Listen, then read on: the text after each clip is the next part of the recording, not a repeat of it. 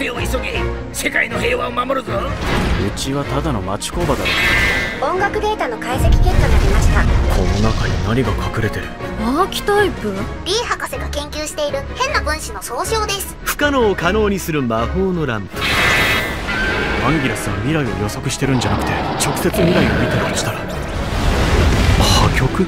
この宇宙全体がなかったことになるっていうか地下の意志を持った骨。悪夢を広げていく素材か。おそらくあれが破局へと向かう引き金。破局が始まる